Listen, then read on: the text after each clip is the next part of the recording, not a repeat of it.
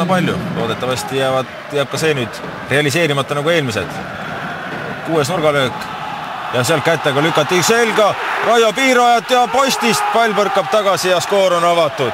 üks-null on Slovakkiaste mängu juhtima läinud ja, ja tundub küll, et siin tehti viga Raio Piiraja vastu eelmises situatsioonis, kui pall oli veel õhus nurgalöögist tulles.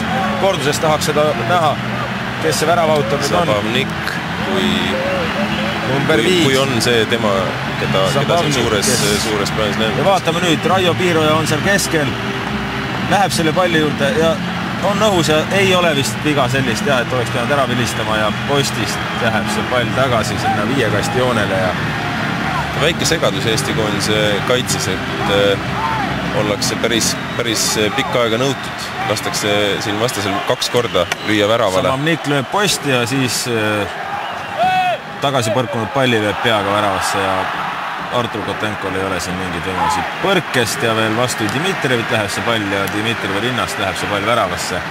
et midagi ei ole teha, ühe korra suigata.